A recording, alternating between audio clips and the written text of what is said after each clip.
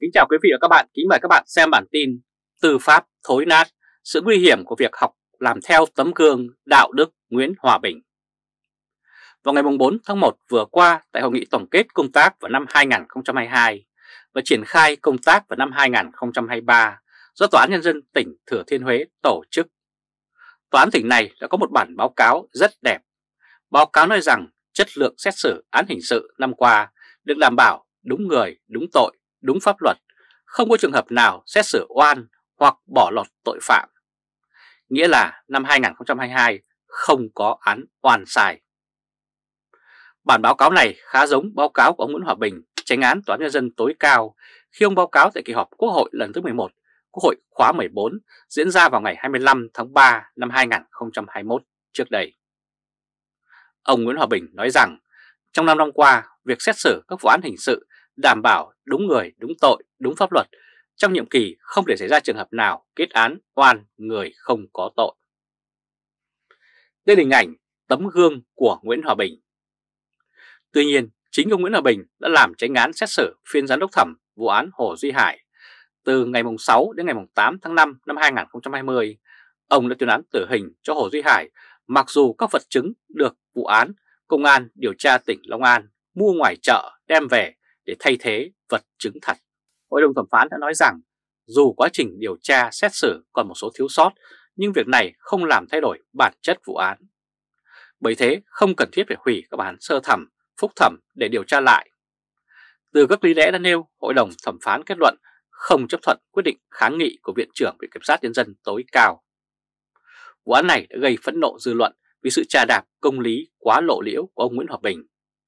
Tuy nhiên, ông tránh án Tòa án Nhân dân tối cao thì vẫn tỉnh như ruồi. Nói trước Quốc hội là trong 5 năm qua không có án oan.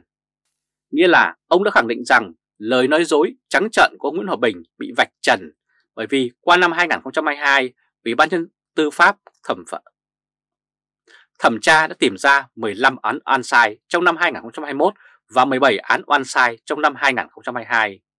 Điều đó đủ chứng minh là bản chất con người ông Nguyễn Hòa Bình thế nào.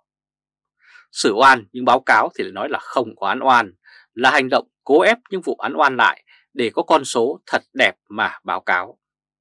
Đây là hành động rất nguy hiểm cho người dân bởi một khi tòa án tiên án oan thì họ tìm cách để dìm vụ án lại, bắt buộc người bị oan phải gánh cái tội mà họ không hề phạm phải. Đồng thời để cho những kẻ phạm tội thực sự nhờn nhơ ngoài vòng pháp luật và tiếp tục gây án tổn hại đến người khác. Đây là hình ảnh oan sai vẫn xuất hiện trong khi ông Nguyễn Hòa Bình lại phủ nhận. Ngành tư pháp Việt Nam là ngành tư pháp thực hiện theo mệnh lệnh chứ không hề có sự độc lập như các nước dân chủ.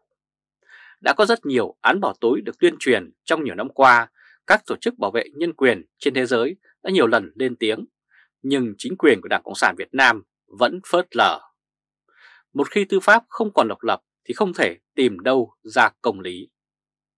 Nguyễn Hòa Bình là kiểu mẫu quan tòa của Đảng Cộng sản, phán quyết không dựa vào chứng cứ khách quan mà phán theo ý chủ quan của quan tòa và theo lệnh của cấp trên. Tuy nhiên, ông Nguyễn Hòa Bình lại nói dối trước Quốc hội mà không hề biết xấu hổ. Đấy đúng là một mẫu cộng sản đích thực. Đảng Cộng sản cần những con người như vậy để tuyên truyền những bản án bỏ túi theo ý của Đảng. Đây là hình ảnh Thừa Thiên Huế đang học tập và làm theo tấm gương đạo đức Nguyễn Hòa Bình. Trở lại vấn đề Tòa án Nhân dân Thừa Thiên Huế, không ai tin, không có ăn sai trong một nền tư pháp công cụ. Những bản báo cáo như thế chỉ là trò mỹ dân rất rẻ tiền, mà bộ máy tuyên truyền của Đảng Cộng sản bao năm qua vẫn đang thực hiện. Nói đầu xa, người dân phản đối bốt bẩn có gì sai mà họ vẫn bị ở tù. Trong khi đó, những trò chặn đường thu tiền xe cơ giới không đúng quy định đã bị báo chí phân tích và phản ánh nhưng vẫn không ăn thua gì. Hàm oan người yếu thế để bảo vệ lợi ích nhóm cũng là một chức năng của ngành tư pháp Việt Nam. Họ cứ làm như thế hết năm này qua năm khác, nhưng báo cáo thì vẫn không có án oan. Người dân làm gì được ngoài việc đành chấp nhận. Quý vị và các bạn vừa theo dõi chương trình truyền hình trực tiếp của Lê Trung Khoa, Thời báo chấm với bản tin Tư pháp thối nát, sự nguy hiểm của việc học và làm Tư pháp thối nát, sự nguy hiểm và việc học tập theo tấm gương đạo đức Nguyễn Hòa Bình. Quý vị và các bạn hãy chia sẻ video này cho nhiều người biết và bấm nút theo dõi YouTube và Facebook của Thời báo .d để luôn được cập nhật những bản tin mới nhất, nhanh nhất và trung thực nhất. Từ Berlin, Cộng hòa Liên bang Đức chào các bạn và hẹn gặp lại các bạn ở bản tin lần tới. Trung Khoa Thời báo .d Kính chào quý vị và các bạn, kính mời các bạn xem bản tin Ông Tổng tung mũi xung khích khoan vào phe Thủ tướng, lời tuyên bố như đinh đóng cột của phe ông Tổng. Mỗi năm có hai kỳ hội nghị trung ương của Đảng, tuy nhiên ông Trọng vẫn cần thêm những hội nghị trung ương bất thường để đốn gốc rất nhiều nhân sự. Cho đến nay chỉ có ban bí thư do chính ông Nguyễn Phú Trọng đứng đầu là không hề sức mẻ nhân sự. Còn lại từ chính phủ cho đến các chính quyền địa phương đều gục như ngả giả. Đại án Việt Á và vụ chuyến bay giải cứu chưa đủ, giờ đây ông Nguyễn Phú Trọng đang cho khui ra cục đăng kiểm. Có thể nói lò của ông Nguyễn Phú Trọng như đang được đổ thêm xăng nên cháy ngày càng mạnh. Đây là hình ảnh ông Tổng Bí Thư biết ai bàn lui chắc là ông sẽ không thả. Việc quật ngã quá nhiều quan chức có lẽ làm cho phe chính phủ và chính quyền các địa phương sợ thật. Tại hội nghị trực tuyến cuối năm của chính phủ có mời ông Nguyễn Phú Trọng tham gia đến lãnh địa của phe ông Thủ tướng mà ông Tổng Bí Thư vẫn nói như là ông là người chủ hội nghị vậy chứ không phải là ông Phạm Minh Chính. Thời ông Nguyễn Tân Dũng làm Thủ tướng, ông Đông Đức Mạnh không thể nào thực hiện được điều như thế. Trong bài phát biểu của ông Nguyễn Phú Trọng có đoạn rằng kiên trì, kiên quyết đấu tranh phòng chống tham nhũng tiêu cực gắn với đẩy mạnh xây dựng hoàn thiện luật pháp, cơ chế, chính sách để không thể, không dám, không muốn tham nhũng. Đồng thời chấn chỉnh, đấu tranh loại bỏ tư tưởng bàn lùi, lo ngại rằng việc đấu tranh phòng chống tham nhũng tiêu cực sẽ cản trở sự phát triển, làm chuột trí, làm cầm chừng, phòng thủ, che chắn và giữ an toàn trong một bộ phận cán bộ công chức nào đó. Nhất là các cán bộ lãnh đạo, quản lý, các cấp. Ông Nguyễn Phú Trọng nói tiếp, tôi đã nhiều lần nói rồi, nay xin nhắc lại, những ai có tư tưởng ấy thì hãy đứng sang một bên để người khác làm. Tất cả chúng ta, nhất là những người trực tiếp làm công tác tổ chức cán bộ, phải có tấm lòng trong sáng, có con mắt tinh đời, đừng nhìn gà hóa quốc. Đây là hình ảnh, ai còn dính đến Việt Á có lẽ đang run vì sợ. Phe Thủ tướng hay vin vào lý do như chống tham nhũng tiêu cực sẽ cản trở sự phát triển để đánh động ông Nguyễn Phú Trọng, nhưng xem ra ông Trọng hiểu ý đồ và giao trước. Vào năm 2021, khi mà ông Nguyễn Thành Long đang bận công tác chỉ đạo chống dịch Covid, ông Nguyễn Phú Trọng vẫn cho hạ bệ như thường. Có lẽ đến giờ ông Nguyễn Phú Trọng vẫn đang cho rằng ông làm như thế là đảng sẽ trong sạch. Hay như mới đây, bất chấp thị trường cổ phiếu và thị trường trái phiếu trao đảo như thế nào, ông đều cho bắt hết.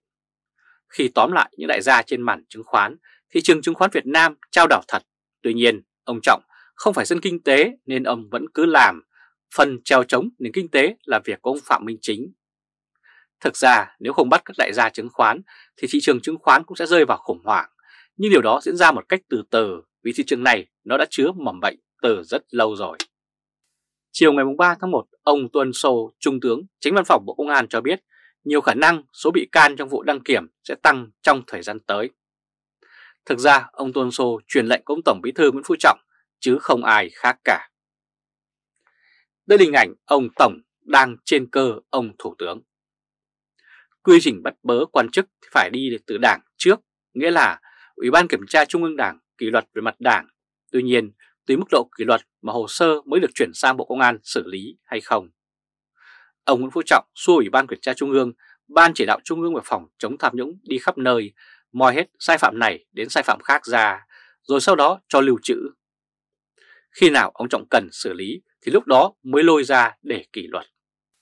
Sau khi kỷ luật, thấy ai biết điều thì dường như sẽ không chuyển hồ sơ sang bên Bộ Công an. Thấy ai không biết điều thì chuyển hồ sơ cho Tô Lâm và khi đó Tô Lâm sẽ đưa quân đến bắt người. Ông Nguyễn Văn Thể Ông Phạm Bình Minh, ông Vũ Đức Đam đang bị kỷ luật về mặt đảng, vẫn chưa biết ba ông này có ông nào sẽ bị Tô Lâm đưa quân tới nhà đọc lệnh bắt hay không. Thì chúng ta cũng còn phải chờ xem. Cuộc chiến vương quyền trên thượng tầng chính trị của Đảng Cộng sản Việt Nam đang nghiêng hẳn về phía ông Tổng. Quý vị và các bạn vừa theo dõi chương trình truyền hình trực tiếp của Lê Trung Khoa, Thời báo chấm với bản tin Ông Tổng tung mũi xung kích khoan vào phe Thủ tướng, lời tuyên bố như đinh đóng cột của phe ông Tổng. Quý vị và các bạn hãy chia sẻ video này cho nhiều người biết và bấm nút theo dõi YouTube và Facebook của Thời báo chấm để luôn được cập nhật những bản tin mới nhất, nhanh nhất và trung thực nhất. Từ Berlin, Cộng hòa Liên bang Đức chào các bạn và hẹn gặp lại các bạn ở bản tin lần tới. Trung Khoa Thời báo chấm